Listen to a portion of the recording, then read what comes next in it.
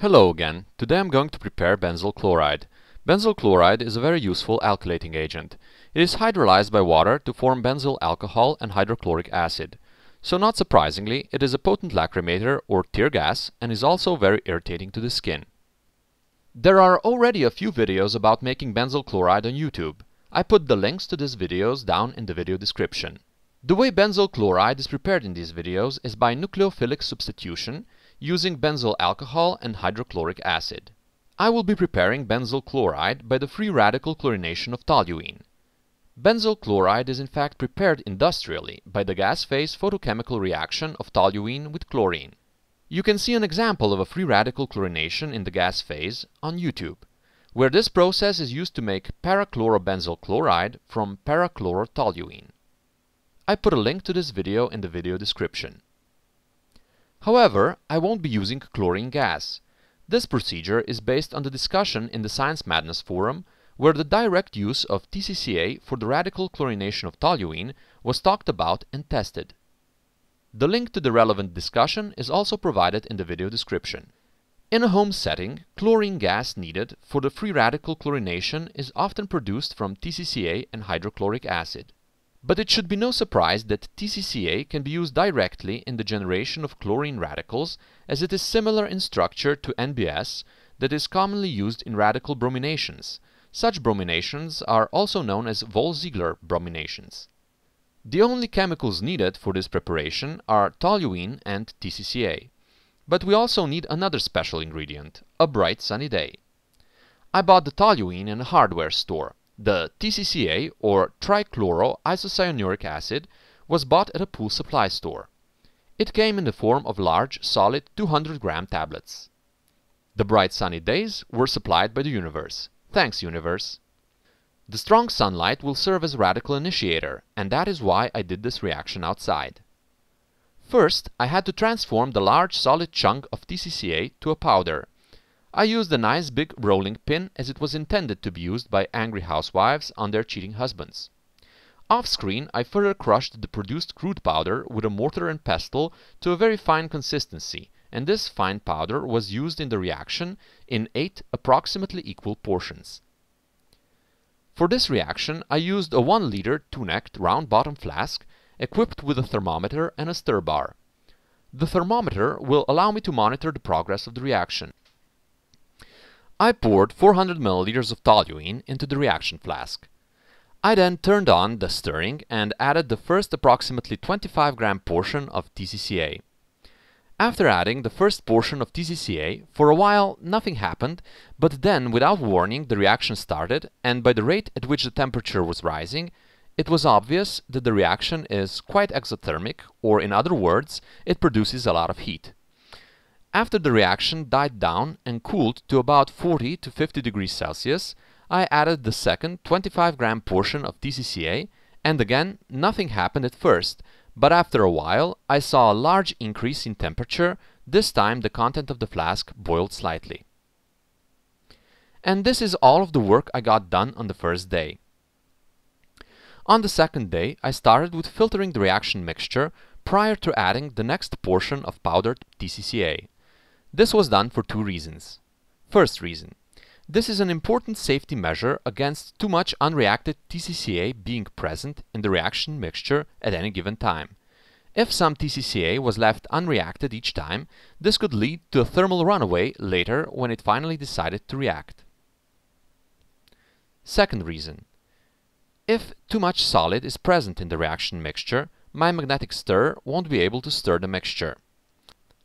After filtering, I poured the filtrate back into the 1 liter two-necked reaction flask.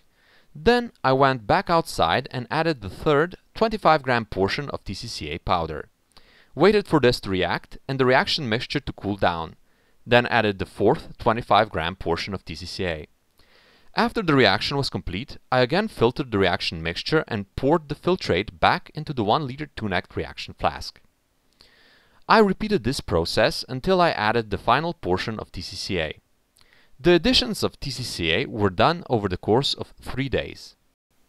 It was quite noticeable that the filtrate goes from being colorless after the first filtration to being yellow after the fourth filtration.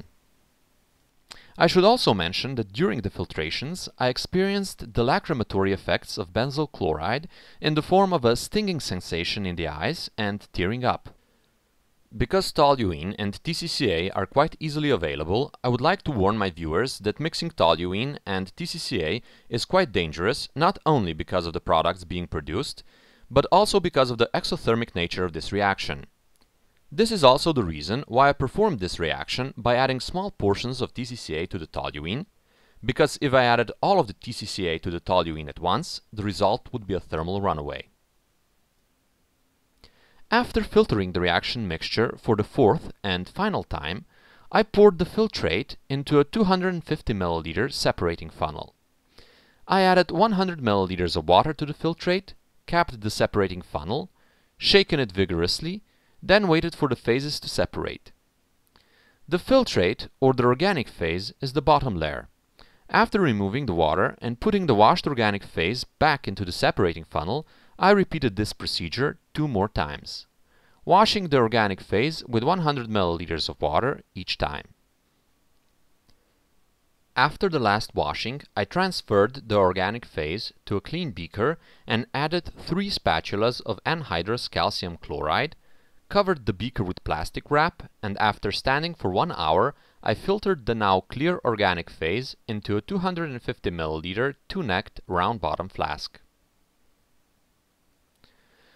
I put the flask into a sand bath because an oil bath would smoke quite badly at the temperatures required to distill benzyl chloride.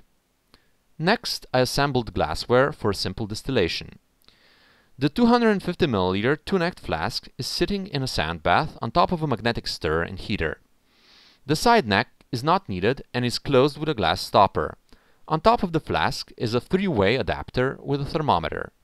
To the adapter there is connected a 25 cm Liebig condenser. The Liebig condenser doesn't have water running through it, as air cooling is sufficient.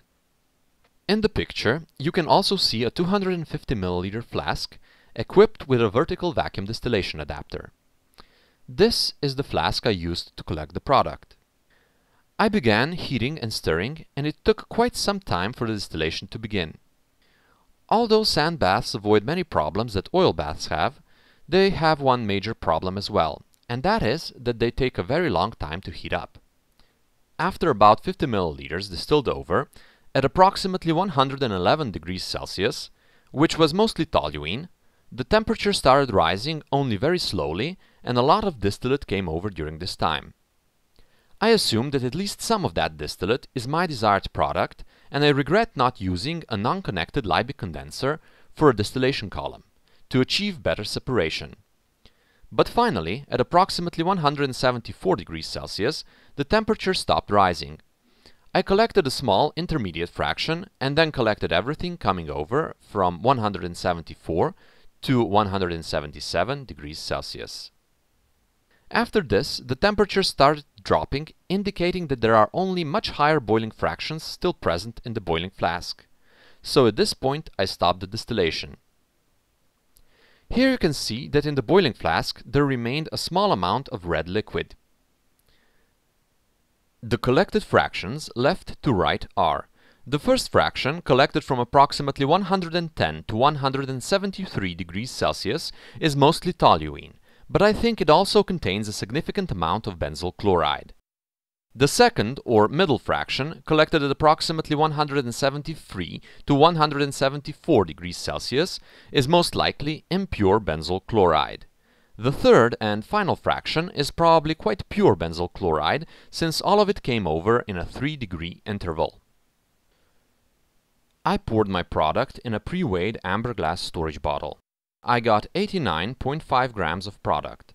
This represents a 28% yield based on the amount of TCCA used in this reaction.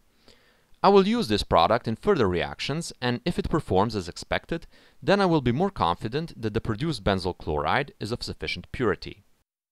Now I will take a moment to discuss the low yield and possible improvements to this procedure. If you remember, I used 400 milliliters of toluene as the reactant and solvent. But after the last filtration, before the washings with water, I had less than 250 milliliters of the reaction mixture left. I did four filtrations and I did not wash the solids after each filtration. This means that a large amount of the reaction mixture was left in the damp solids at every filtration. To be honest, I don't know why I didn't wash the solids with fresh toluene each time. This would probably increase the yield. The next big loss is in the distillation. I decided to do a simple distillation, but there was a lot of distillate that came over between 111 and 174 degrees Celsius. And at least some of that is benzyl chloride. So if I repeat this procedure, I will wash the solids after each filtration and do a fractional distillation instead of a simple one. Okay, that is all for now. See you next time.